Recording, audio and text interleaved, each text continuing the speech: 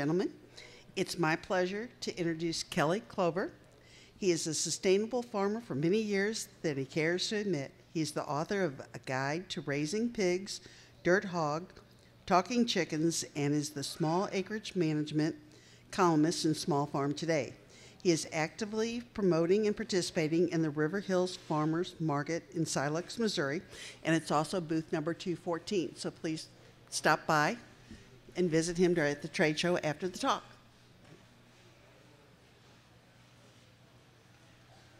Well, thank you and good afternoon. Well, this is an interesting sized crowd. This is either a, a big lynching or a small revival meeting. and I don't see anyone holding a rope or marching toward me, so we'll think about a revival meeting. I uh, kind of uh, heard a pretty good tale yesterday. I'm seeing a bunch of friendly faces. Do you know how many extension agents it takes to change a light bulb? Three. One to keep flipping the switch up and down, hoping something will happen. One to make a pitcher of strawberry daiquiris to while away the time. And the third one to call a farmer to find out how to do it.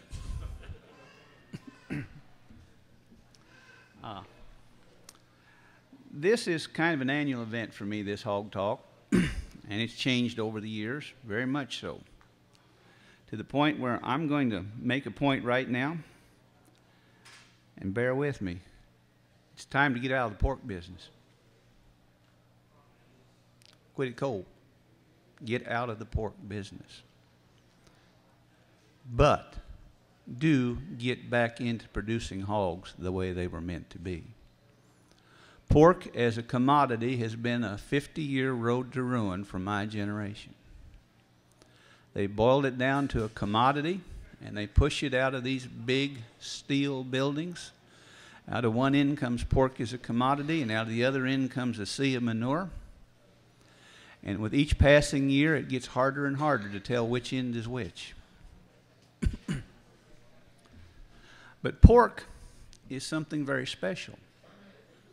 It was the table meat of kings. It is one of the most distinctive meat products that can be produced in the world. And it is eaten around the world nearly as much as chicken. But we have taken it from what was its traditional role on America's farms and tried to make too much of it on the farm 50 years ago, hogs were one part of a diversified array of livestock ventures. They were kept in small numbers, they were kept with a seasonal pattern of production, and they were kept with an image of specific field of endeavor. People were out to work with hogs for a purpose. The thing is, hogs started to follow chickens into the vertical in integration eddy. More and more they were moved indoors into buildings. The gene pool began to narrow. Right now, the swine industry industry relies on essentially three big breeds of hog the Hampshire, the Yorkshire, and the Landrace. Essentially, they're trying to build a white pig producing machine. And we're paying a terrible price for it. As you well know, if you go into a store now to buy pork product, you're seeing some real issues. Pale pink color, watery content, and irregular sizes and positions on some of these items. Pork chop is a wonderful product, but you take a two pound, three pound bag of pork chop, uh, package of pork chops coming out of a store now. They're burying the little ones down at the bottom. And all that blood that's run out into the package. And all that pale color. And the fact that if you cook them two seconds long, you've gone from fried pork chops to jerky, and another two seconds, and you've got saddle leather we have lost what a hog should be. And I feel kind of bad about that because we started out with a pretty good product. and we had it in a pretty good role. Then we decided to become specialists. And you can lay that pretty square on my generation.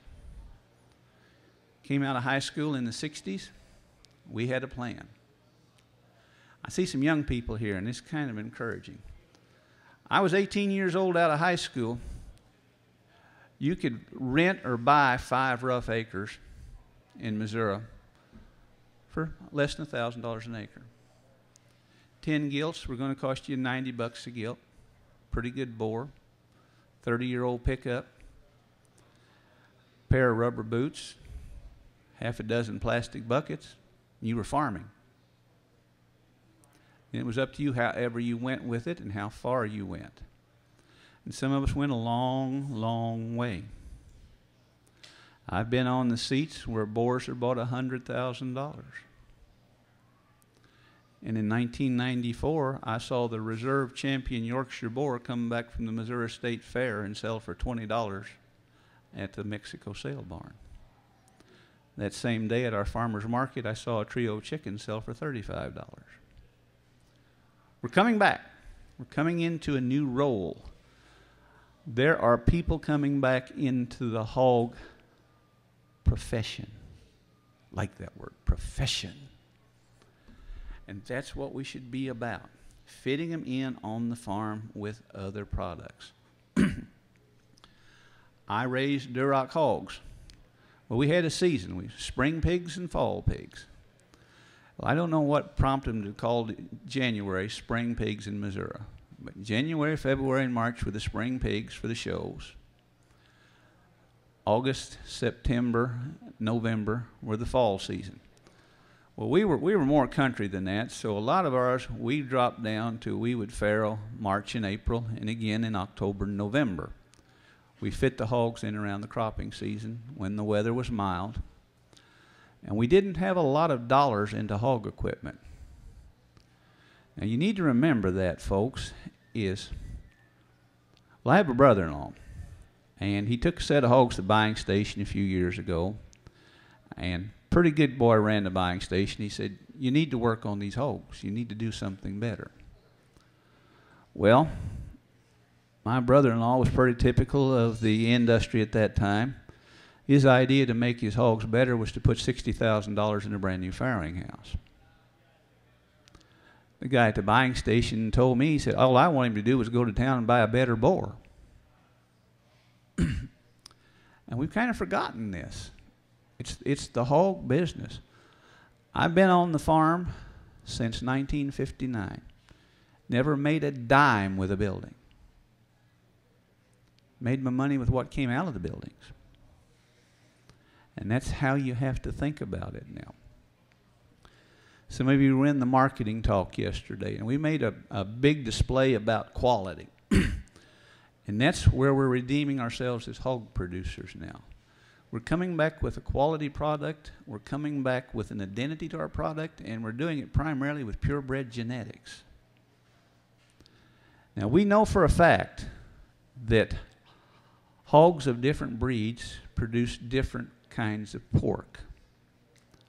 We have got enough studies right now that they tell us that the Duroc, the Berkshire, the Tamworth, and the Chester White produce a very distinctive meat.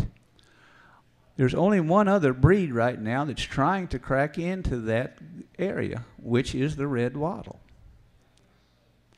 And they're working pretty hard. But they need to do a little more.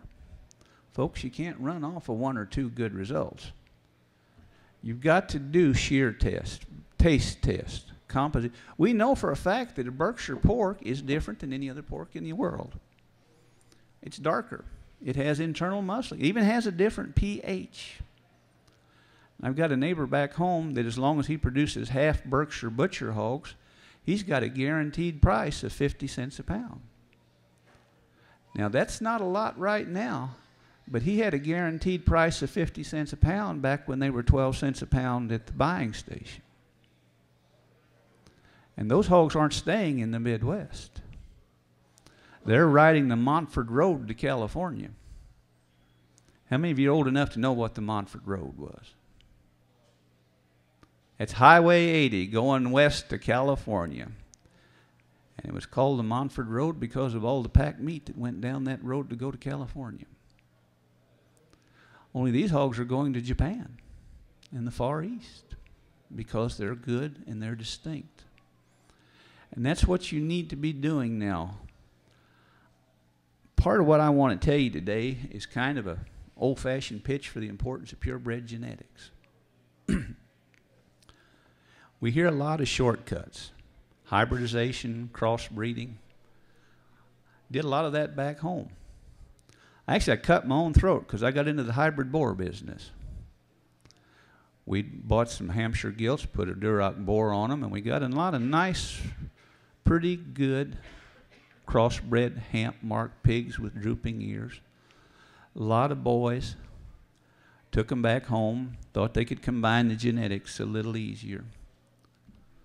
Well, there's one thing I couldn't answer the one question. Why were they better? Their quality came from the fact that they were out of good purebred Duroc and Hampshire. But what my generation did by playing that game was we made an opening for the factory farmers in the boar stores.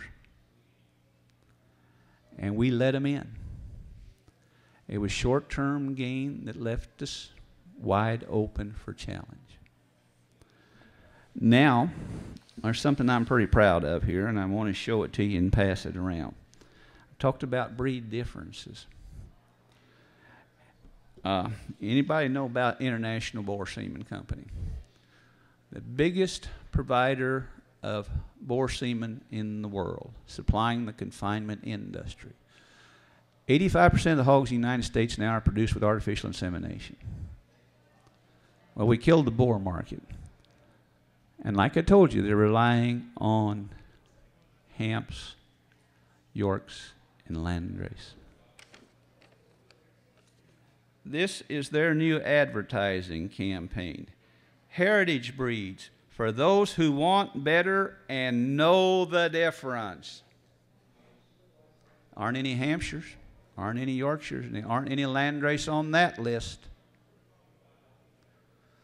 I tell you, this list is a lot like Obama endorsing Romney. That painful.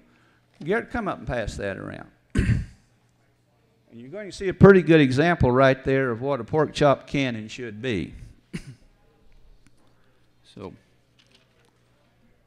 like I say, we've been in this for essentially since I was 10 years old. My 10th birthday present was a Hampshire sow bought for $35. My junior year in high school, we bought the first purebred gilt Took my entire share of the soybean money to get her bought. and we got into the hog business. But we fell into kind of a little trap. And I want to share that with you. We started out with one gilt, Dad and I. We'd been hit hard with a drought. We had to sell a cow herd. Well, we got the numbers fascinated in our head. We thought, well, we needed 25 good Duroc sows. Well, we bought one, and within three years, we were to 25. But what happened is I had an epiphany one night. Not a religious one, but an economic one.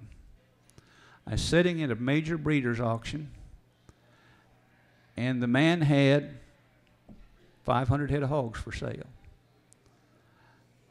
But the five highest selling hogs in the sale came out of one litter. The 20 highest selling were half our full brothers and sisters. And they were chalking up to two sows. He had put the money into the good genetics. And that's the key to this, folks. We can't slug it out with premium standard for volume. They want us to try because then they'll know we'll go away. What we have to do is go after a niche that is ours. Now, a niche market by definition can be small, can be limiting, but it generally pays a premium. But it has to be tended. And that's what we found out. Our boar business was to other farmers same size we were. We had our presence in eastern Missouri, the buckle of the hog belt. And I can tell you, I, I mean, I, I was there for the glory days, and it was exciting. I had an FFA brother was in on the first five-figure boar bought in the United States, $25,000 for a pig named Liberty Bell. But I also learned a little bit else as I went along. There was another pretty famous boar back then named Waterloo. Waterloo had cleaned up in Iowa at the test station up there. Waterloo, Iowa test station, they named the boar Waterloo, had the best performance figures ever achieved by a Duroc boar at that time. Went to the breeder sale. They'd used uh, Waterloo for about six months. Trotted him out. He was thin as a whippoorwill, poor as a snake, all head and tail. And they were saying, This is the big boar. Two old fellows sitting behind me while the auctioneer proceeded to tell all the great how fast he grew, how big his loin eye was, who his parents were all. And one old fellow turned to the other and he said, You know, you'd think somewhere when they was doing all this reading in the catalog, at least one of these boys would have thought to look up and look at the pig. and that's the thing, folks. We've got to start looking at the pig again. You know, God made a pig to be a pig. He didn't mean for him to be a 500 pound mini beef. He didn't mean for him to be this NASCAR looking thing they're driving around in the show pig arenas now. It was meant to produce pork. In the 20th century, we went through, by exact count, 20 different changes in swine type. One every five years. We went from big old thick chubby hogs that were producing grease and were called cob rollers because their bellies were so low to the ground when they walked across the co- uh, hog lot, the cobs rolled out from under them. Race horses. these super thin pigs you saw at the fair this summer, it's named, it ain't the first time these babies have come to town. Back in the 1970s, every buying station in the state of Missouri had a manure spreader and a front end loader on an international tractor and you did not want to go over and look in that manure spreader because they were all dead hogs, died of stress, couldn't make it up the ramps into the butcher pens.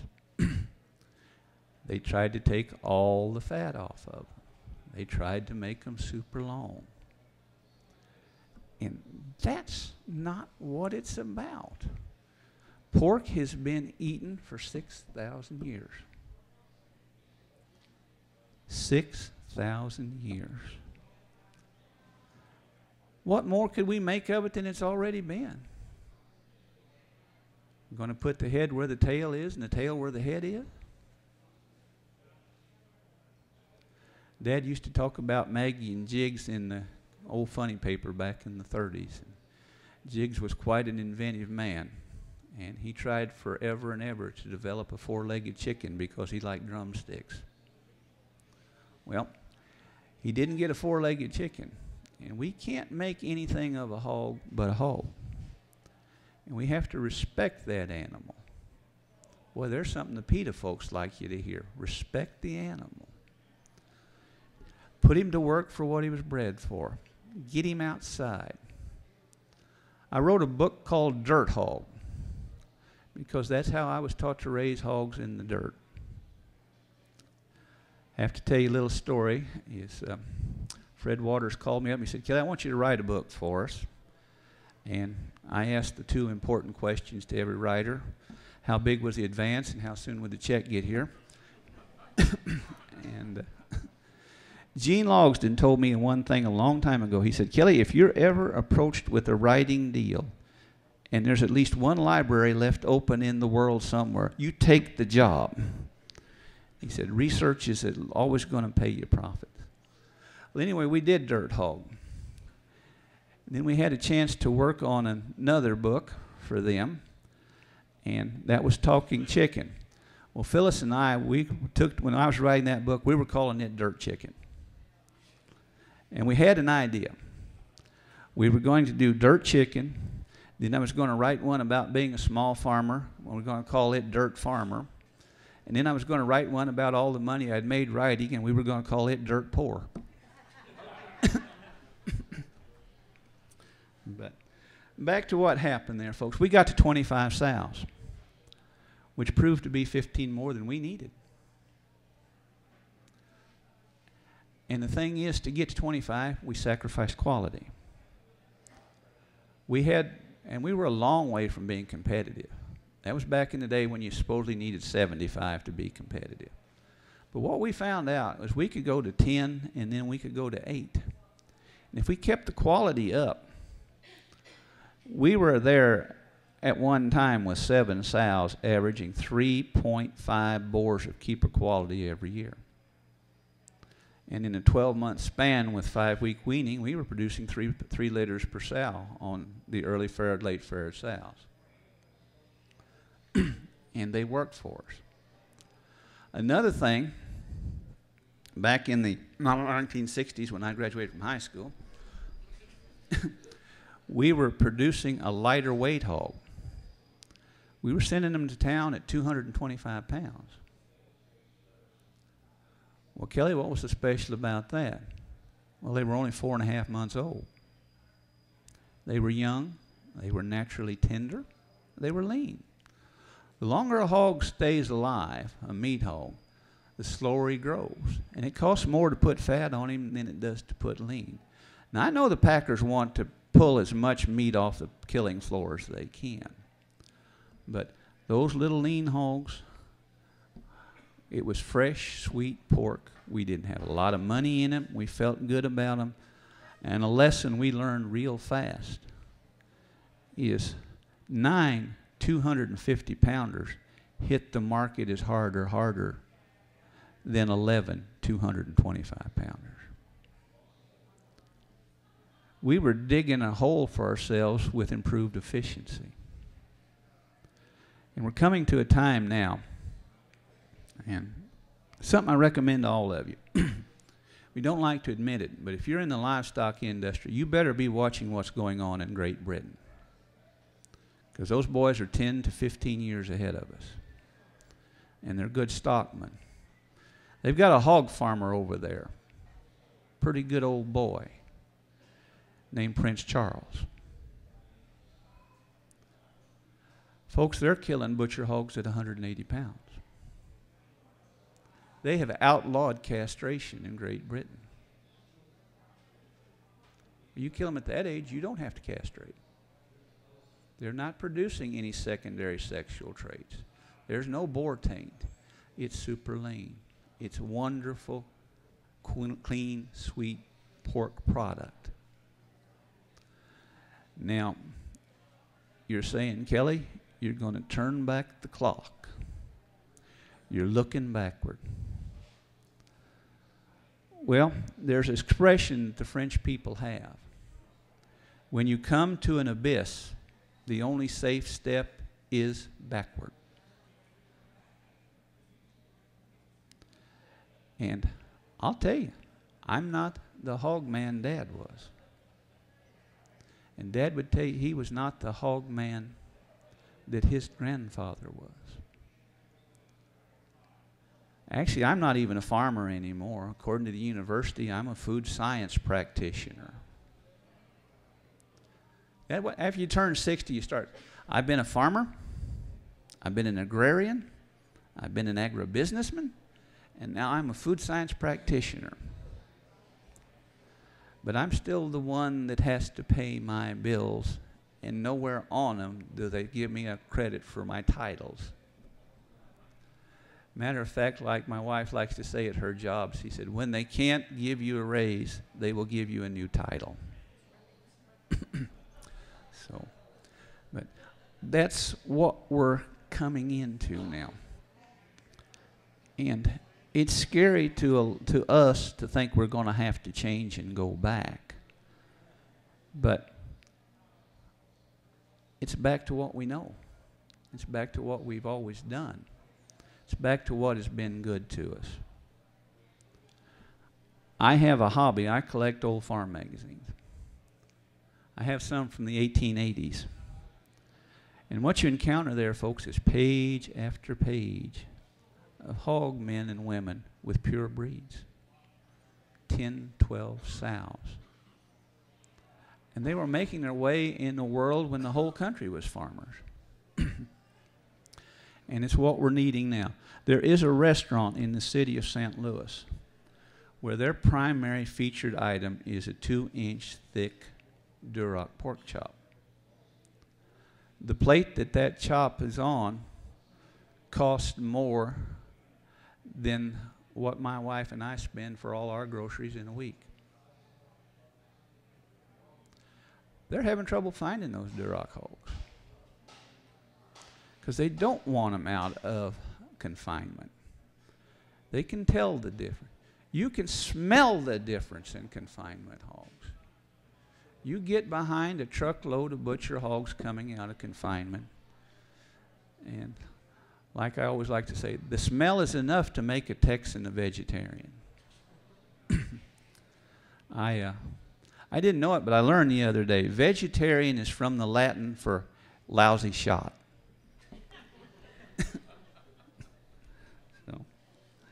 That's, that's kind of the point there. We're, we're carnivores. And we have the good product. And the thing is, there's some people out here with enough moxie that are making it work now. Told you yesterday about a lady up in the Chicago area getting six dollars a pound for pork sausage. Several years ago, I sold two little spotted pigs to go into a little girl's Easter basket. I was happy to take $35 a piece for those little guys. With purebred hogs, every marketing option is open to you. Seed stock, pork is meat, roasting hogs, 4-H and youth project work. Don't close your door by becoming too narrow in your focus.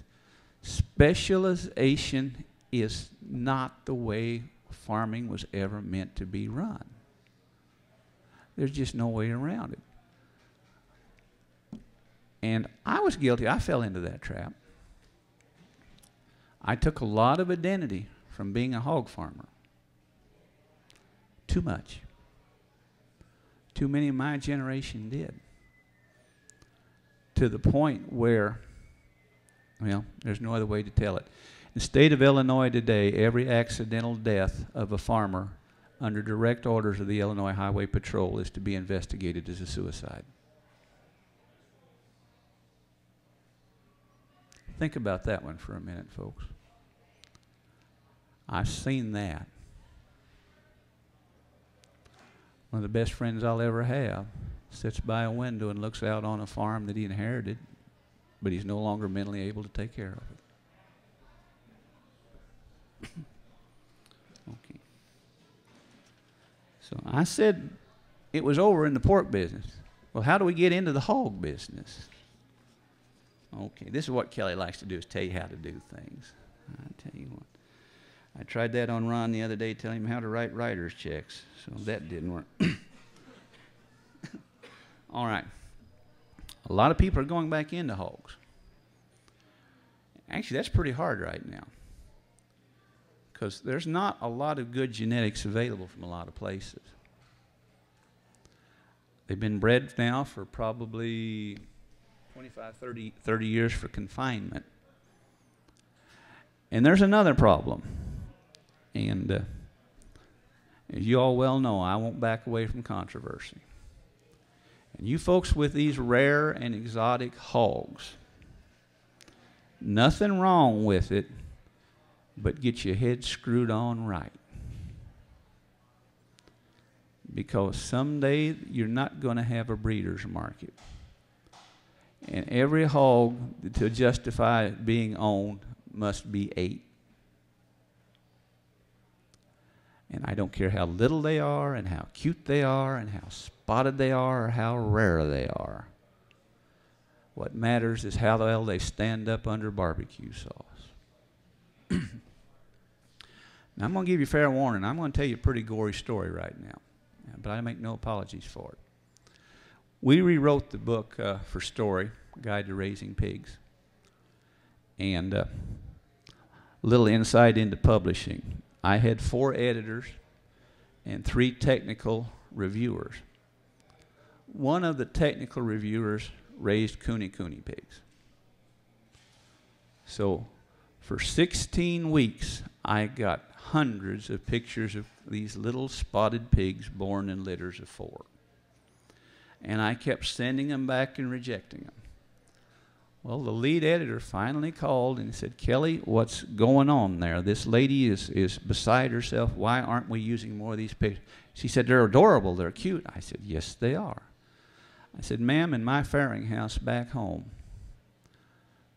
there's a doorway. And I said, just about knee high in that doorway, there's a red line. And she said, Okay. I said, Ma'am, that's blood. Because when we had pigs born looking like those, we knocked them in the head on the way out of the farrowing house because they were not going to perform, they were not practical, and they were probably going to get three or four good pigs killed because they walked around squealing all the time. I didn't give you more pictures of little spotted pigs. but like I said, I, I'm, I don't apologize. I'm kind of proud of that. And you folks that are going this route, don't fall into this stupid high tech trap. The boar in the bottle killed the breeding stock industry. Artificial insemination. I don't care how rare your breed is.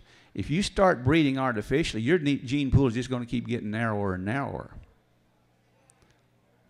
And it's going to reduce your chance to make sales. Well, Kelly, isn't that how we make progress? Isn't that how everybody does it? No. The most valuable livestock on the face of this earth cannot get a pedigree if it's produced by artificial insemination or embryo transfer. In point of fact, thoroughbred horses must come from witnessed natural matings. Let's talk about practical. Ladies and gentlemen, if they'll lead a $10 million stallion into a breeding barn in Kentucky tomorrow and risk having him kicked in the genitals by a balky mare to make sure that they're maintaining the integrity and the purity of the line and the quality and the worth of their animals, how can we stand up and say they're wrong? Or better still, how can we defend what we're doing trying to factory farm these animals? And trust me on that. You cannot register an artificially sired thoroughbred horse. You'll pardon some of the language I've used right here, but it's something that kind of touches me pretty deeply. You make your start with what you have, and you begin by selecting primarily for growth and vigor. When I was in the hog business, we could bury you in numbers feed efficiency, growth rate, but they were manufactured. You want to have a fast growing pig, feed him pig starter all of his life. You want to make him look really spectacular, stick him into an eight foot by eight foot pen, feed him pig starter, and push him for all he's worth. Every time he has a sneeze or a sniffle, drive a needle into him. You know, there's a reason a lot of animals died was because they couldn't get in the breeding pool. But we let that happen. I have to tell you a story about myself. It's something, there's a lot of people here that know me, some folks from back home. If it comes into my head, it generally comes out of my mouth. and I was down at the grocery store down in Troy the other day.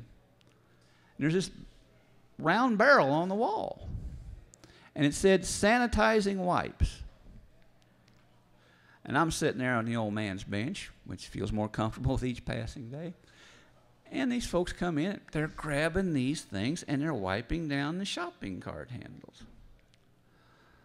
Well, before I thought, it came right out of my mouth. If there's something on a shopping cart handle that'll make you sick, maybe you should go ahead and die and get out of the gene pool before you do damage to it.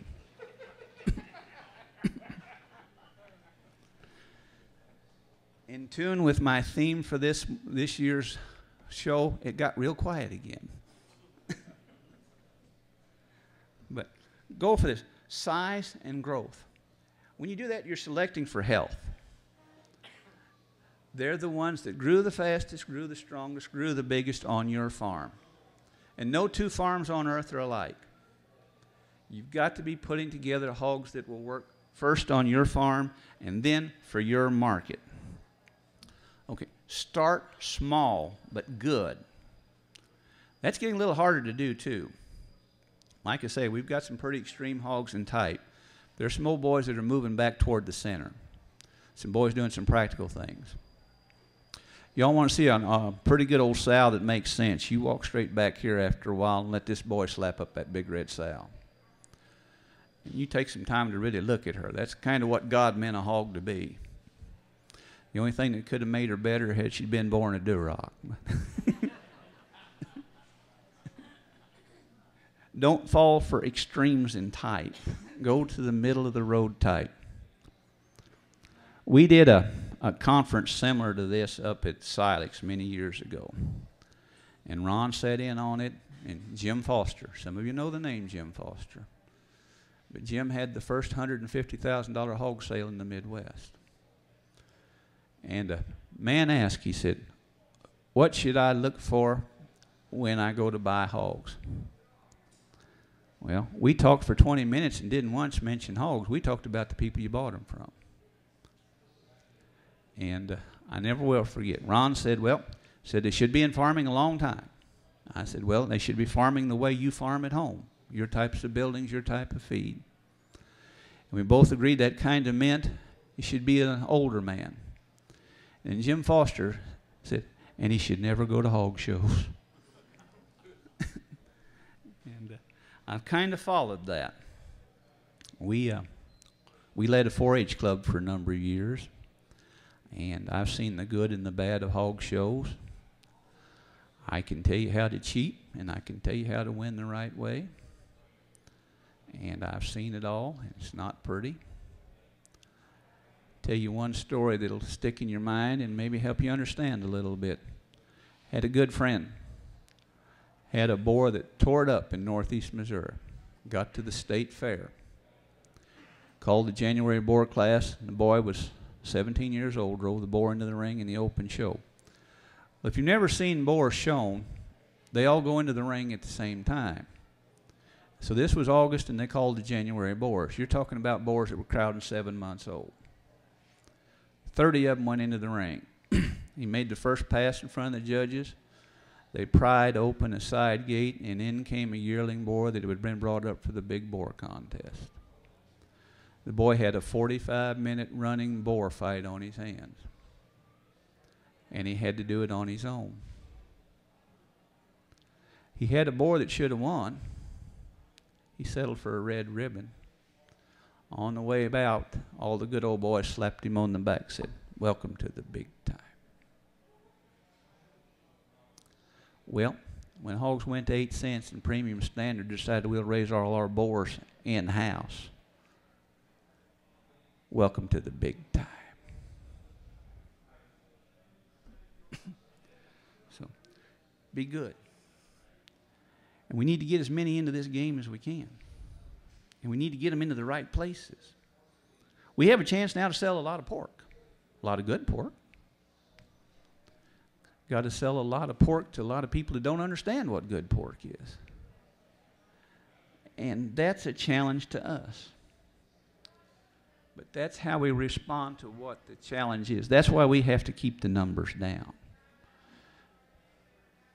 A sow, a sow with two eight pig litters in a year will produce over a ton of pork sausage. Now, a ton of pork sausage. Okay. What do you make of that? Well, you stay back home and you might get a dollar and a half pound. You move a little closer to Columbia or Kansas City or St. Louis, and you might get two and a half. You get with a local processor and you start turning them into brats with Italian seasoning. And you take a place in the market where they can identify you, and they go to four. You cross that St. Charles Bridge down there, and you get into one of those Chesterfield farmers markets, and you're six. From your sow with a ton, you've had gross sales of $12,000. I don't care if she's eating $30 a bushel corn. If you can't make money with $12,000 out of a sow, son, you shouldn't be in the hog business. You shouldn't be in any kind of business. But not everyone can cross that bridge. Not everyone's comfortable down there. But I've got folks back home that in Silex, 60 miles from St. Louis, are netting 100 to 200 dollars on every butcher hog they sell. Now, they're not selling 8 or 900 of them. They're selling 15, 20, 25 or 30. Remember what I said about leave hogs the way God wanted them? I think we need to farm the way God wants us to, not be greedy. He set us down to be stewards over a whole big, vast world. And that means being a wise producer. Know your limits. You can break these little niche markets, and you can do it with a single sow. You can do it with the purchase of a wrong boar. It's what you put into it, heart and mind. I, uh, like I said, we went from three years' time to 25 sows. And uh, my senior year in high school, we were up to a half a dozen sows. And uh, this little tip follow away because it worked for me. But we needed a male hog. And we shopped every hog catalog that came through. Jess and Dick Spencer over at Gillespie, Illinois had a bred gilt sale. Well, bred gilt sale in January, but he had a half a dozen good boars tucked away in that sale. We set out the day after a blizzard. Jimmy Nutter and myself and Dad's blessing, and we went to Gillespie, Illinois. I had $500. That was roughly $499 more than I'd ever been away from home with it once in any time before then. But Dad said, spend it all if you have to. He said, you're not going to get that top pig. Well, like I say, the day before had been a blizzard and it was a bred gilt sale. I hit that top pig at $200. And it got down to me and another boy. And uh, I got him bought for $300. Like an idiot, I had $200 in my pocket. I got up and went back and started looking through the gilt pens. Cooler heads prevailed. And uh, I took my boar and my $200 back home. And my advice is, is don't be afraid of a blizzard to go buy something. Many years ago, uh, I do some auction work, and a bunch of us stood together to sell. A lot of old auctioneers, and they said, "Well," I said, "What's the best day to have a farm auction?" Well, the one guy said, Oh, I want sunshine and 75 degrees and the birds singing. And the guy said, Man, I want it to be right after a good rain and everybody's feeling good. This old gentleman, he was out of western Illinois, and the old time auctioneer, the packer boots, the leather breeches, the cloth around his throat to protect his throat. He said, I want to do it on a Monday morning. He said, I want it to be colder than Billy Blue blazes. I want snow a flying. And I tell you what, all of us stepped back. And one said, Well, why ever for? He said, I won't have a single tire kicker or coffee drinker there. He said, They'll be there to buy, and I'll be in the house for dinner and done. You've got to know what your marketing is about, folks. and once you're in the hog business, don't fall into the trap of doing it the way the rest of them do. Your opportunities are going to come from outside. I don't like this push the paradigm, push the envelope thing. But you are going to have to find opportunities that'll work for you. Your buyers are not going to be my buyers, they're not going to be Garrett's buyers. And you're not all going to fill the same role. But don't be afraid of the new and the challenging. I'm from up in uh, northeast Missouri. There's a place called Woods Locker up there. Nice little family owned business. They produced, created, and generated a product called the pork burger. That is the most recent modern cut of pork in the last 50 years. And they sell it by the hundreds of pounds. But who would have ever thought of a pork burger? Pork sausage, pork chops. It's kind of interesting. It's all different. A few years ago, I hosted some boys from back in the Northeast that were rodale riders for the New Farm magazine, and came out and we were sitting and talking, and they said, "I got to ask you a question, Kelly." And I said, "Okay." He said, first of all, he said, "Do you people drink iced tea 12 months out of the year?" And I said, "Yes, we do." He said, "We'll have iced tea for," and he said, "Well, what's a pork steak?" I said, "What's a pork steak?" And I said, Well, that's a shoulder cut of pork. He said, A shoulder cut of pork. I said, What do you all eat for Sunday night supper? He said, Boston butt. I said, Well, we slice a thinner colored pork steak and we eat it 12 months out of the year for barbecue. You know, but somebody had to slice the first pork steak. You know, think about it. Somebody had to eat the first egg. I can see two old country boys. You eat it. No, you eat it. No, you eat it. I don't even know what it Did you see where that came from? Eat it. Somebody ate it. It's a multi million dollar business.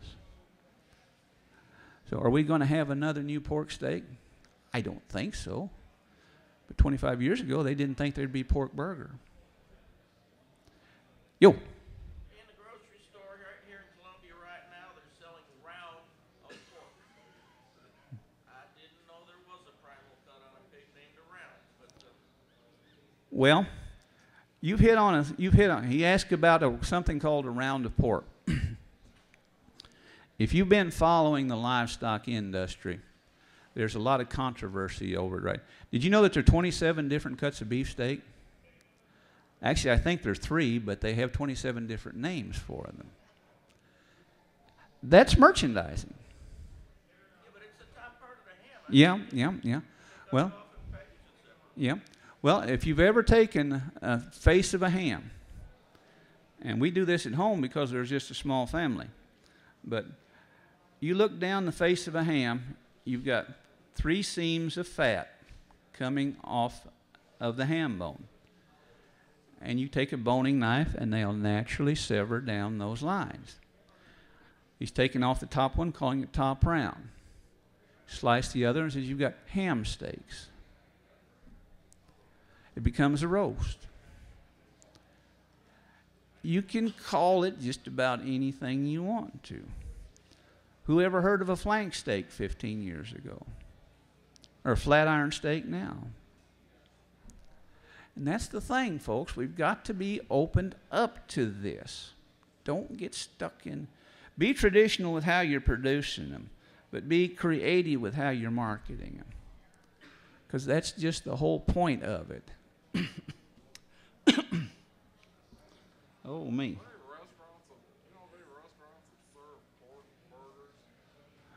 I don't know where you come from, but you can't get away from them from where I'm from. Mm-hmm. Yeah. Well, they're they're all over Pike and Lincoln and Warren counties. And.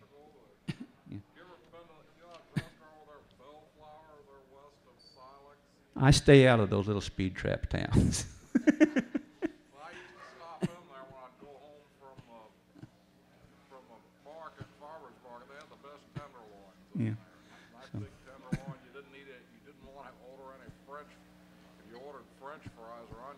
with them, you wanna cut it in half and take it home with you. And, uh, but like I say, the point is right now, and the things that, that are going to add value to these hogs, and we need to know about this value added antibiotic free, outside housing, pure genetics, distinct eating quality. Antibiotic free right now is very interesting approach to production. It makes a lot of sense if you've got the hogs that'll stand up to it. My buddy had rhinovirus. And he'll, Kelly, do you know much about rhinovirus? A little bit. It, he'll kill a pig that's under 40 pounds. All my pigs were above 40 pounds. You know what I did? I took three scoops of his hog manure, three dead pigs, and threw it in the pen. It's probably against PETA code, and every veterinarian probably freaked out. But those pigs got antibiotics to the rhinovirus now. So you know they're not going to get sick from it. So, I mean, I had the right timing. That, that's that's the point. I was on a farm two years ago. We got a lot of Amish farmers in Missouri invol- involved in this antibiotic-free production, and these boys were scrambling to make it work with confinement hogs. And they trotted out a set of boars, and folks, they were so sick they had infectious pus coming out of their eyes. The boars weren't breeding; they were down to skin and bones they had ileitis. Well, I was pretty quick surrounded by a bunch of young Amish farmers. How do we get out of this? Well, the hard truth was you get out of it by burying your way out of it.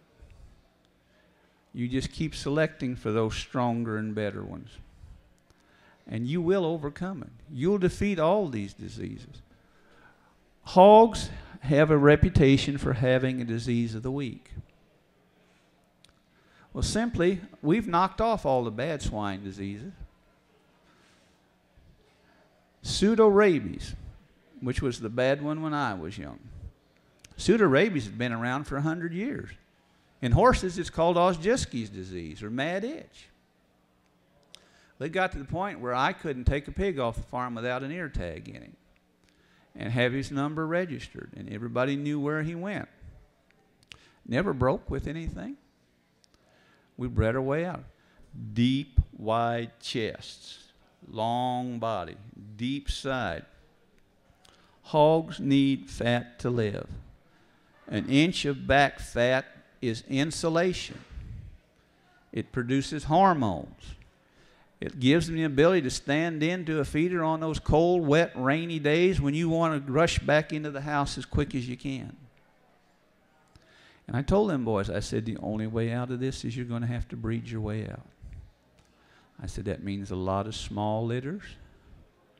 I said, fellas, I started a new line of Duroc sows a few, a few years ago, and I went through several hundred, no, several thousand dollars worth of gilts before I found them that would work on our farm. And I'm sitting there and telling them, and I mean, they didn't want to hear that.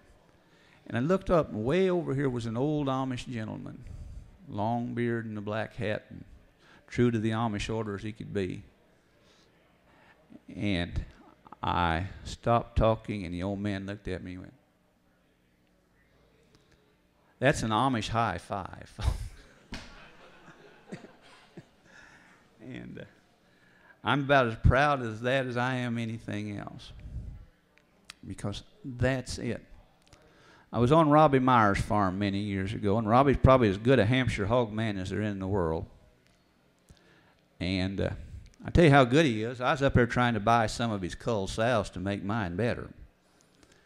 And he said, "Oh, Kelly," he said, "let's go out and look at the hogs." Well, you know, you hear all this stuff about disinfection and sanitary management, and how. Well, we pulled out into a pasture, and he said, "Come on, let's go over here and walk and look." Said, I said, Robbie, I said, now my shoes, I've been around other hogs today. He said, I'll tell you what. He said, if you've got a disease on there, he said, I need to get it onto this farm and get these exposed to them to make them better and stronger. He's willing to take that kind of risk. And that's what it takes. That's the way I sold a lot of boars. I'd bring a fella out and said, "Oh, buddy, take him home. I couldn't kill him here." If you'd have took a bulldozer and you'd pushed every building I owned into one big pile and set it on fire, if you'd give me five hundred dollars the next day, I could have been back in the hog business. First Duroc boar we ever bought. We went to a farm over in High Hill, Missouri. Old boy, he was probably had more money than God, but his farming was fenced with old bed springs, and he's using old cars for hog houses. Well, we bought this boar, and we went back home, and Dad started to laugh. And I said, Dad, what's so funny? He said, Did you see the car that hog stepped out of? And I said, Well, I was really, I was kind of watching the hog. He said, Kelly, he said, that was a 53 Plymouth. He said, I'm driving you home in a 52 Plymouth. He said, I don't know, but he said, I think we've just bought a hog that's going to have to take a step down in life when he comes to live with us. but we got him home and we began to build with him. And that's it, folks. I, I wish I could promise you a solution today or a, point you in a direction that says it's going to happen like that. And time's sliding away from me. I'm 63 years old. I told Phyllis I've got one more step out in the world to take. And she said, Good. So we went to town and she signed a mortgage. so I've used up my quota now. So, you young bloods, it's your turn. I wish I could tell you, boys, you can go buy 10 gilts and find you five cheap acres and be in the hog business. Now, it may be that you're going to have to rent a little slot at the edge of a town. And you may have to do it with one sow and maybe 50 laying hens maybe 200 tomato plants. But it'll be a start. It'll be yours. And if you make it good and you work at it, you'll make it grow. Growth doesn't have to be huge. And don't fall into this, you've always got to be growing. Growth is the philosophy of the cancer cell. If you're not growing toward a purpose and growing with a plan, you're growing like a weed. Now, the other hard part of this, folks, is there's not a lot of professional help out there for you right now. If one of you figures out how you could get a Roundup Ready hog, I'll guarantee we'll have a Mizzou program to help you. But that ain't going to happen. And when you go talking, I was kind of drafted back here this morning to talk about swine rations without soybean oil meal in them. And uh, been working with some farmers up in the north with chicken rations without soybean. Well, the only text that we could find that would work were over 80 years old. Nobody knows how to farm hogs the way our grandparents did. I wrote for the Rodale magazine New Farm. George DeVault was a pretty good friend of mine, and Bob Rodale, when the Iron Curtain came down, they went to Russia. And they worked hard over there you think big agriculture was a problem here. They had big state agriculture, and it fell apart. And George called me one time. He said, Kelly, he said, you know, he said, I think I figured out what these people need. And I said, George, what do they need? He said, you know how they talk about Russian serfs back at the turn of the century? He said, that was these people's grandparents and great grandparents. He said, if I could give them 30 days with their great grandfather to farm with, he said, I think I could turn Russian agriculture around. Yeah. Folks, we're not reinventing the wheel here. We're trying to get the wheel on the right wagon again. And that is not going to be easy. I'm not sure where we're at on time. I never thought I'd say I'd miss Paul Berg, but he was pretty good about keeping me on track. and it's a shame because I got a pretty good Paul Berg story to tell you today. 110. Well, I got enough time to take up an offering, Gary. but let me say this. You got a question? Yes, sir. Are, are there any uh, developments in watering systems or housing or fencing or anything that you think we ought to know about? Essentially, you're going to go back to your basics. Your uh, electronic electric fencing has gotten better, and that's the cheapest way you can go with, with hogs. Now, electric fencing right now, 12 inches high will turn back a sow or a boar or a growing hog.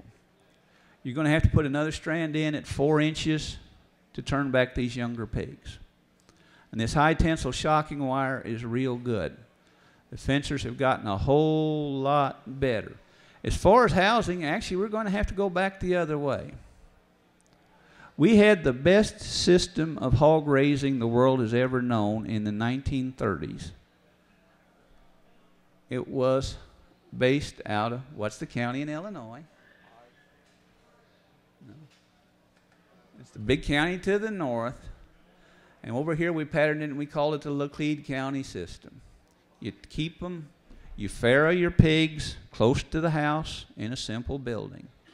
When the sows, when the pigs are two weeks old, you take the sows and the pigs out on the clean ground.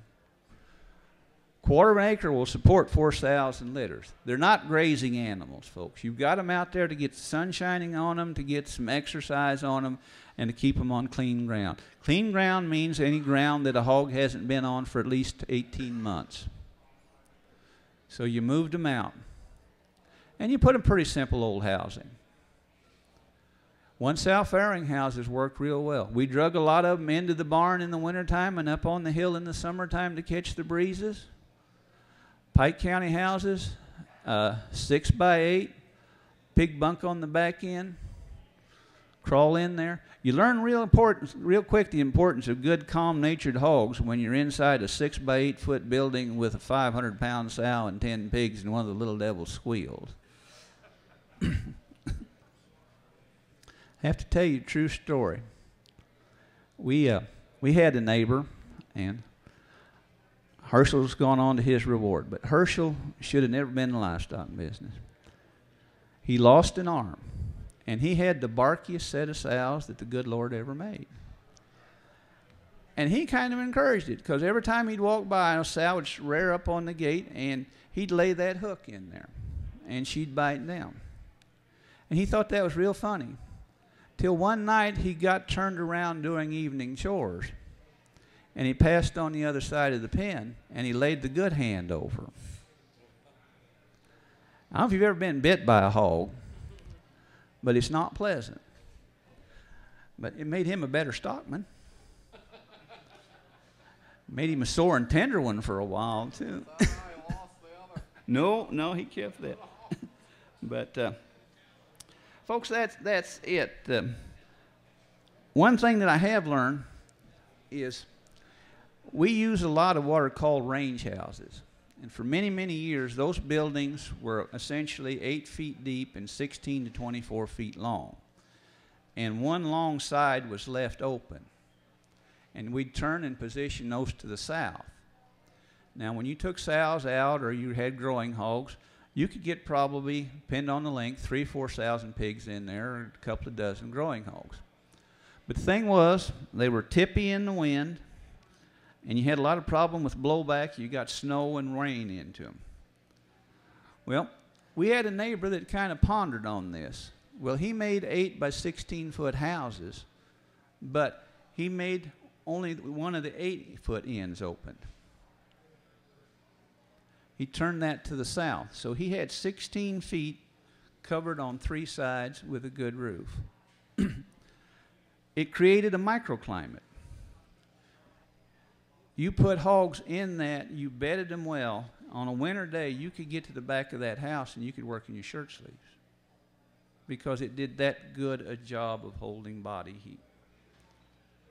Now, hogs, another thing is they need insulation in the roof because hogs put out a lot of moisture when they breathe. If you contain it right now, sow and pigs will produce 6,000 BTUs of heat in an hour, but it's wet heat.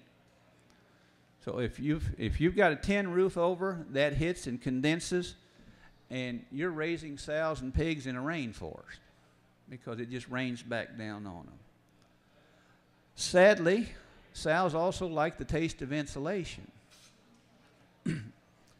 so that's where one by two inch wire mesh comes in. Tack that over the insulation, and they can't get at it.